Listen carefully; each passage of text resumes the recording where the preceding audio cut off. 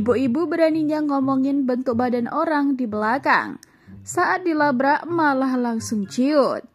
Baru-baru ini viral video seorang wanita berani melabrak dua ibu-ibu yang sering ngomongin badan dia. Apa masalahnya kalau besar badanku katanya? Ngabisin berasmu kah? Enggak. Ngabisin berasmu enggak? Enggak. Tampak begitu dilabrak, dua ibu-ibu itu malah langsung ciut.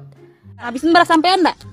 Kalau besar kalau besar bodiku apa masalahnya kalian? Dan saat wanita ini berkata, memang kalau badan saya besar ngabisin beras kalian. Ujar wanita ini.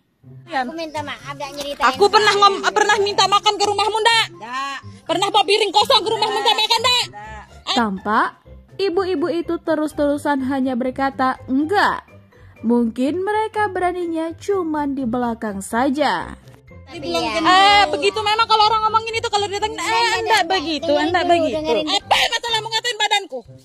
Ako kan cerita si Kila, si Mana, si Kenapa harus nyeritain